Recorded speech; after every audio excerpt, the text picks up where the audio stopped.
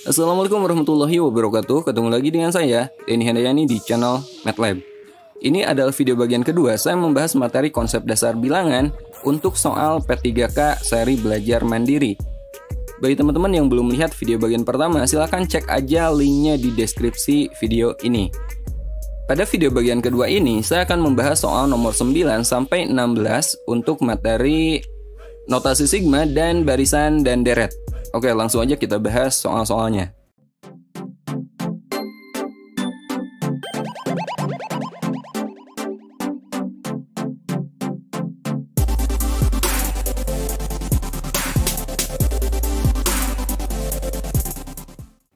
Oke, sekarang saya bahas soal nomor 9. Nilai dari sigma 4i min 5 untuk i sama dengan 4 sampai i sama dengan 51 adalah, nah ini sama aja ya, ini soalnya ditulis dua kali. Nah, untuk mempermudah perhitungan sigma ini, kita gunakan salah satu sifat notasi sigma. Kita ubah aja batasnya, teman-teman, ya.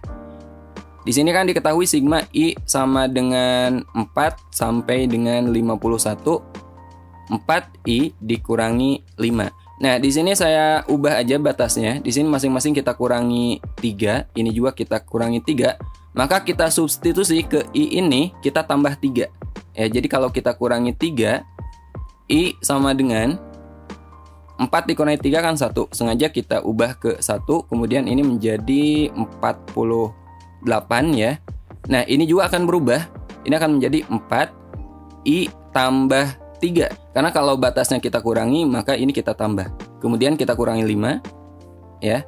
Jadi sigma I sama dengan 1 Di sini 48 4 kali I itu 4I 4 kali 3 kan 12 12 dikurangi 5 itu 7 Jadi tambah 7 Nah seperti ini teman-teman. Nah sekarang kita akan menggunakan uh, barisan dan deret aritmetika. Sigma I sama dengan 1 sampai 48 4I ditambah 7 Ini sama aja dengan rumus UN ya. UN sama dengan 4I tambah 7 Sama aja dengan 4N ditambah 7 Ya Nah, kita akan mencari SN karena di sini batas atasnya itu 48, maka kita sama aja dengan mencari S48. SN itu sama aja dengan uh, N per 2 kali A ditambah UN, gitu kan. A-nya itu suku pertama, kita cari suku pertama, berarti sama aja dengan U1, kita ganti N-nya dengan 1.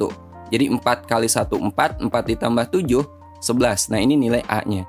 Kemudian kita cari UN-nya U48 ya. Jadi 4 kali 48 ditambah 7. 4 kali 8 32, 2 ke sini 3, 4 kali 4 16, tambah 3 itu 19, kemudian ditambah 7 sama dengan 199. Nah, sekarang kita mencari S48. Ini sama dengan 48 dibagi 2 itu kan 24 ya. Kemudian A-nya itu tadi 11. Kemudian ditambah U48 itu 199. 199. Jadi kita peroleh 24 kali. Uh, 199 ditambah 11 ini 210 ya. 210. 24 kali 210 berapa tuh? Uh, 24 kali 21 aja. 24 kali 1 kan 24. 24 kali 2 itu 40 8 jadi 4 ini 10 0 ke sini 1 jadi 5 ya. Jadi 504 karena ini kan 210 tambahin 0 1 di belakangnya. 5040 ada nggak? Jawabannya adalah B. Oke sekarang kita lanjut soal nomor 10 tentukan persamaan sigma uh, K kuadrat untuk K sama dengan 3 sampai 7 sama dengan x kuadrat ditambah 2x sama dengan 405 nilai x yang memenuhi yaitu Oke ini salah satu soal yang tidak jelas arahnya teman-teman. Pertama tentukan persamaan. Yang kedua nilai x yang memenuhi. Ini yang ditanyakan apa sebenarnya? Kemudian di sini ada sama dengan Di sini ada sama dengan juga. Ini nggak jelas. Nah, tapi jika kita lihat opsi jawabannya, eh, saya bisa memprediksi ini kesalahannya tuh di mana. Kesalahannya penulisan soalnya seharusnya tuh seperti ini. Sigma K kuadrat ini bukan sama dengan tapi harusnya kali teman-teman harusnya kali X kuadrat tambah 2X sama dengan 405 untuk K sama dengan 3 dan sampai 7 Nah jadi kita cari aja dulu bagian sini teman-teman kita cari dulu bagian sini ya. Sigma uh, K sama dengan 3, K sama dengan 3 sampai 7 untuk K kuadrat. Nah, untuk mempermudah kita mencari nilai K kuadrat untuk K sama dengan 3 sampai 7, kita gunakan aja jumlah uh, deret kuadrat ya. Deret kuadrat itu gini teman-teman. Jadi kalau satu dikuadratkan ditambah dua dikuadratkan ditambah dan seterusnya sampai n kuadrat, ini jumlahnya akan sama dengan n kali n ditambah 1 kemudian kali 2n ditambah 1 kemudian kita bagi dengan 6 kita bagi dengan 6 ya kita gunakan rumus ini. Jadi kita cari aja untuk n sama dengan 7 ya. Meskipun ini dimulainya dari 3 sampai 7 tapi kita cari aja untuk n sama dengan 7 berapa tuh jumlahnya? Untuk n sama dengan 7 maka 7 kali 7 ditambah 1 ya. Kemudian 2 kali 7 14 14 tambah 1 15 kemudian kita bagi dengan 6 berapa tuh 7 kali 8 kali 15 kita bagi dengan 6 6 ini kita ubah jadi 2 kali 3 aja. 15 dibagi 3 5 8 dibagi 2 4 4 kali 5 kan 20 20 kali 7 ini 140 Nah, tapi karena di sini batasannya itu dari 3 sampai 7 berarti satu kuadrat dan 2 kuadrat ini nggak masuk ya. Jadi ini 140 dikurangi 1 kuadrat ditambah 2 kuadrat gitu. 1 kuadrat 1, 2 kuadrat eh, 4. Jadi 1 tambah 4 5. 140 dikurangi 5 itu 135. Nah, ini nilai dari sini ya. Jadi kita peroleh bagian sini ini kita ganti dengan 135 135 kali X kuadrat ditambah 2X sama dengan 405 Jadi kita peroleh X kuadrat ditambah 2X sama dengan 405 kita bagi dengan 135 Berapa? 3 ya? 3 Jadi X kuadrat ditambah 2X dikurangi 3 sama dengan 0 Ini kita faktorkan. Ya, kita faktorkan, kita cari dua angka jika dijumlahkan hasilnya 2 dan jika dikalikan hasilnya negatif 3 berapa tuh? 3 dan negatif 1 jadi plus 3 min 1 maka X tambah 3 sama dengan 0 X sama dengan negatif 3 atau X min 1 sama dengan 0 X sama dengan positif 1 jadi jawabannya negatif 3 atau 1 mana? yang ini ya ini jawabannya. Oke sekarang kita bahas soal nomor 11 Jumlah bilangan di antara 5 dan 100 yang habis dibagi 7 tetapi tidak habis dibagi 4 adalah uh, Di antara 5 dan 100 kita cari dulu yang habis dibagi 7 Ya berarti kita mulai dari berapa? 7 ya 7, 14, 21 dan seterusnya Sampai yang mendekati 100 Yang terakhir yang bisa dibagi 7 itu 98 Ya sampai sini Nah jika teman-teman perhatikan pola UN-nya UN di sini kan sama dengan 7N. Ketika N-nya 1 7, ketika N-nya 2 itu 14. Nah, kita akan mencari uh, 98 ini N-nya berapa? Ini suku ke berapa? Kita substitusi aja, kita ganti UN-nya dengan 98. 98 sama dengan 7N. Jadi N sama dengan 98 kita bagi 7 sama dengan 9 dibagi 7 itu kan 1. 28 dibagi 7 4. Oh, ternyata ini adalah suku ke-14. Jadi kalau kita jumlahkan 7 tambah 14 tambah 21 tambah seterusnya sampai 98 kita gunakan aja SN untuk barisan ini ya. SN itu sama dengan N per 2 kali A ditambah UN. Jadi di sini N-nya berapa? N-nya adalah 14. S14 sama dengan 14 kita bagi 2 kali A-nya di sini 7. Kemudian ditambah UN ini suku terakhir 98. Berapa tuh? 14 dibagi 2 kan 7. 98 tambah 7 itu uh, eh, 105 ya. 105 kali 7 itu 735. Nah, ini bilangan yang bisa dibagi 7. Di sini tetapi tidak habis dibagi 4. Nah, sekarang teman-teman cari di antara bilangan ini yang habis dibagi 4 habis dibagi 7 dan habis dibagi 4 itu kan dimulai dari 28 kan 28 kemudian ditambah 28 tambah 28 lagi uh, 56 ya 56 tambah 28 lagi 84 udah ya kalau kita tambahkan lagi dia akan lebih dari 98 kan? Berarti udah sampai sini. Ini bilangan yang habis dibagi 7 dan habis dibagi 4 ini kalau kita jumlahkan berapa? Ini kan 28 kali 1 ini 28 kali 2 ini 28 uh, kali 3 jadi ini sama aja dengan 28 kali 1 ditambah 2 ditambah 3 kali 6. Berapa? 8 kali 6 48. Kemudian 2 kali 6 itu 12 tambah 4 16 168. Nah, jadi bilangan yang habis dibagi 7 tapi tidak habis dibagi 4, tinggal kita kurangi ini, kita kurangi dengan ini. Ya, 735 kita kurangi dengan 168. 15 dikurangi 8 kan 7. 12 dikurangi 6 itu 6. 6 dikurangi 1 itu 5. 567 ada nggak? Jawabannya adalah E. Oke, sekarang kita bahas soal ke-12 ya. Nilai dari sigma n kali n tambah 1 kali 2n tambah 5 per 2 untuk n sama dengan 1 sampai 4 adalah Oke, ini saya tulis ulang soalnya sigma n-nya dari 1 sampai 4 kemudian n n tambah 1 2n tambah 5 per 2. Ini kita substitusi aja manual teman-teman. Kita ganti n-nya dari 1 sampai 4 ya.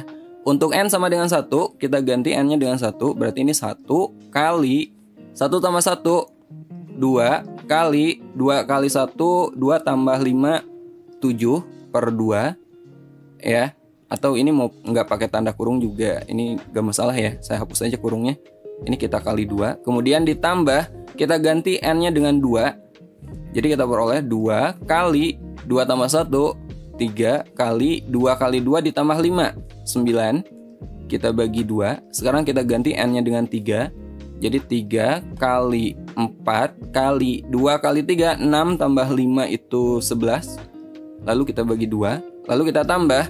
Nah terakhir kita ganti n-nya dengan 4 4 kali 5 kali 2 kali 4 itu 8 8 tambah 5 13 Kita bagi dengan 2 Oke? Kita hitung aja Kita coret 2 nya Ini juga sama.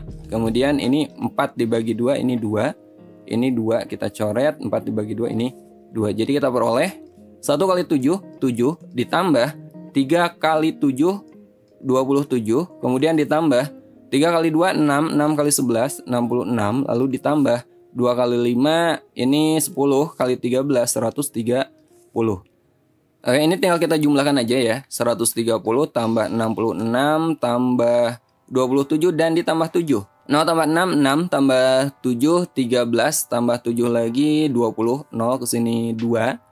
2 tambah 3, 5, 5 tambah 6, 11, 11 tambah 2 itu 13, 3 dan ke sini satu satu tambah satu dua. Ternyata hasilnya nilainya itu seharusnya itu 230 dan di sini nggak ada ya. Ini nggak ada di pilihannya. Jawabannya harusnya 230 tapi untuk kunci jawaban itu jawabannya itu yang ini teman-teman.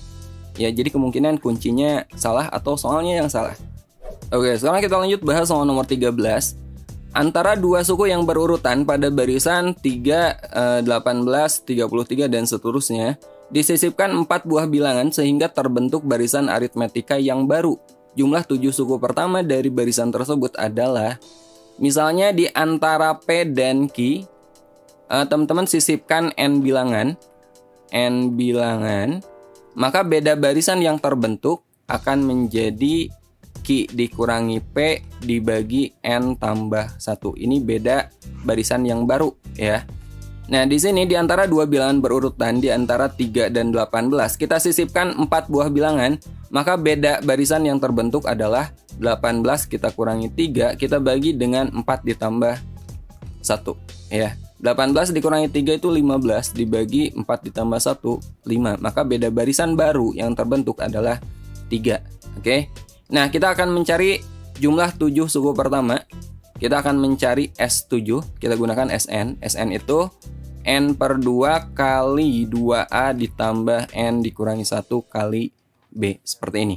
Kita akan mencari nilai dari S7 berarti 7 per 2 kali 2A.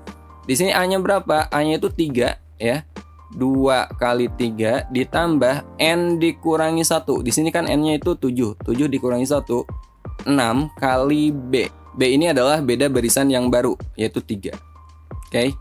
Jadi 7 per 2 kali 2 kali 3 itu 6 ditambah 6 kali 3 18 sama dengan 7 per 2 kali 6 tambah 18 itu 24 24 kita bagi 2 12 12 kali 7 84 ya. Jadi jawabannya adalah 84 B.